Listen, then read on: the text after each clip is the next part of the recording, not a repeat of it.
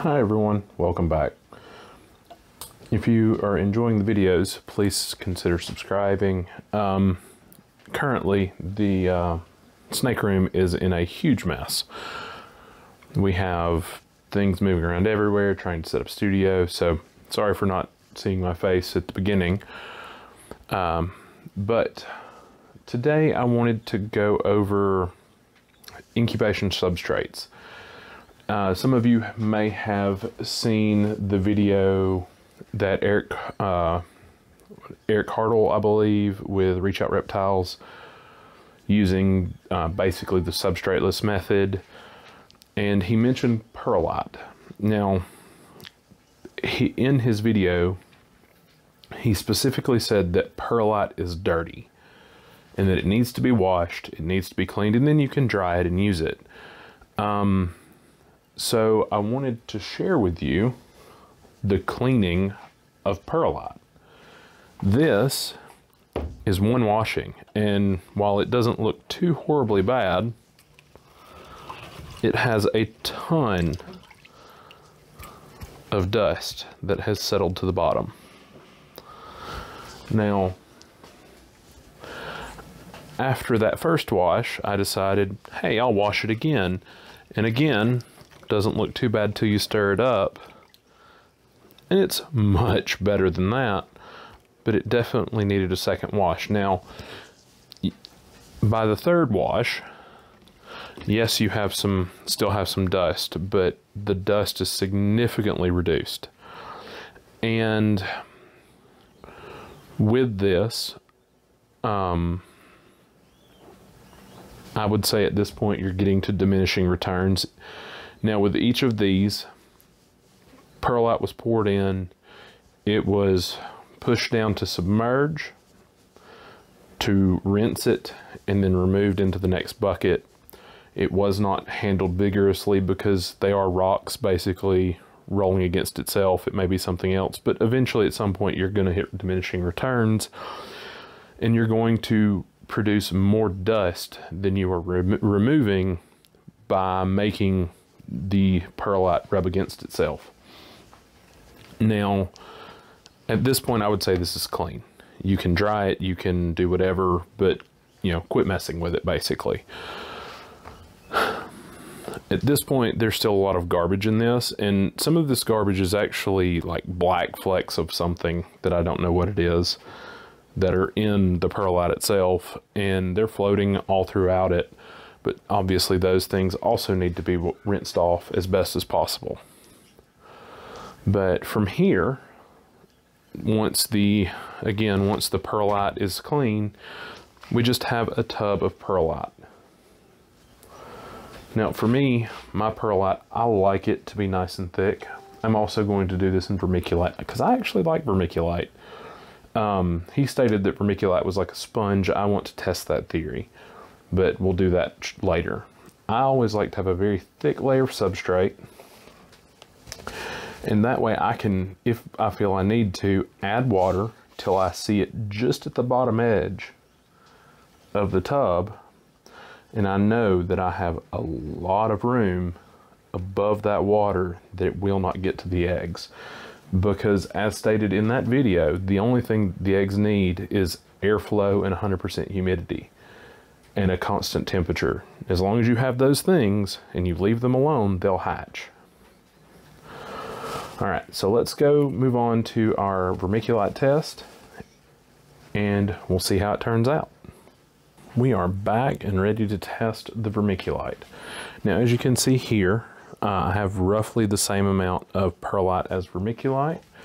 Just in case anyone wonders, this is the vermiculite I get is just from Lowe's, nothing special. Perlite, it's the same from Lowe's, nothing special. Now, this is roughly the same amount of vermiculite and perlite, but we're going to test this. We're going to see number one, is this a sponge that will um, pull, you know, absorb moisture? because advertising was they're both considered to be drainage and aeration um, matter or particulate for salts. And also, we want, uh, number one, we just want to see if it's a sponge, but number two is perlite versus, versus vermiculite. Is there any real difference outside of, you know, texture, which is one of the reasons why I like vermiculite versus perlite? And, you know, is it a sponge?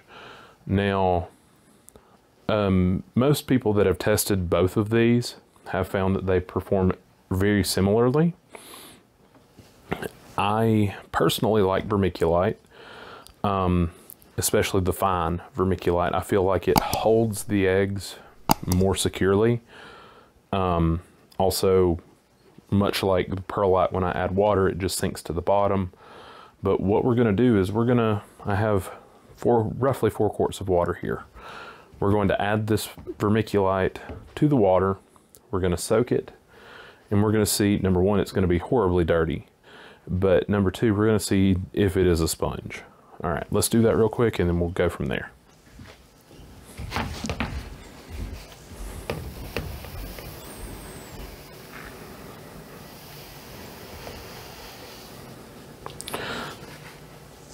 And the number one thing that I see that's different from perlite, or is it?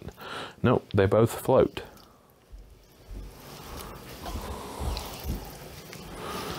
But it looks like the vermiculite is much dirtier.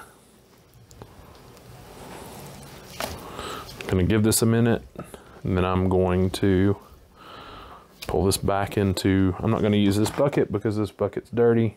I'm gonna wash that.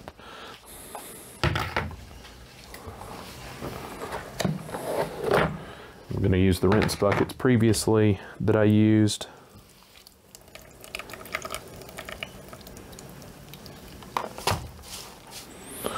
Let's see how much water we actually lose. If it's a significant amount, oh, looks like it might be. It does look like it's absorbed quite a bit of water, but it's also draining quite a bit of water too. I didn't check with the perlite to see if there was a similar reaction, unfortunately, so I can't compare.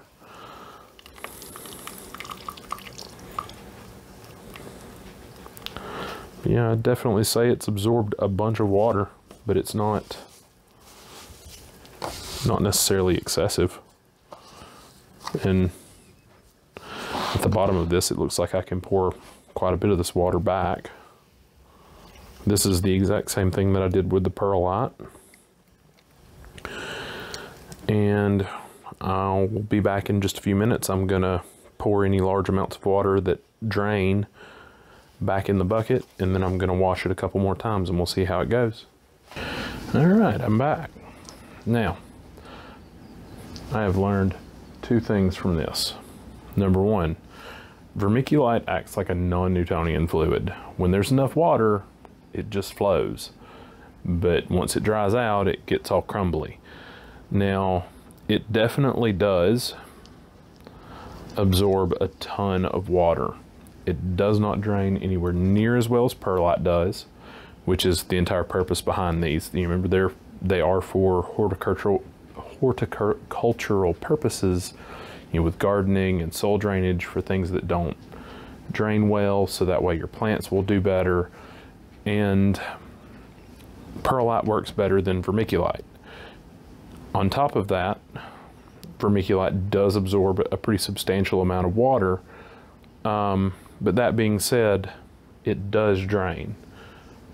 So any water that is in here, given a little bit of time, will drain to the bottom and the top will be dry, or at least it will be damp, not wet. Um, I thought that perlite was ridiculously dirty, but vermiculite is obviously dirtier. Probably with a with a light test to see what how much light passes through, but it is dark versus light as well, which will cause it to absorb more light and seem like it's dirtier. Without a proper weight, it's almost impossible, and I'm not going to get that scientific. Um, that being said, texture wise, like personally, texture wise, having it on my hands, I prefer ver- vermiculite. I've always had good luck with ver- vermiculite. I haven't had bad luck with perlite. Again, it's just strictly a texture thing. Um, picking these up now, perlite's been washed, vermiculite's been washed. Vermiculite leaves a much bigger mess on my fingers than perlite does, though you can get bigger um, grain vermiculite. But what have I learned from this? Number one, vermiculite holds a lot of water. Uh, number two, I still like the feel of vermiculite versus perlite when I'm mixing it up. Uh, blame me for being weird. Um, but number three, they're still kind of equal. I mean, you rinse these off, you get them all the dust off of them. They serve their purpose. They hold the eggs, prevent them from rolling around. You bury them a little bit, the top stays mostly dry, if not damp.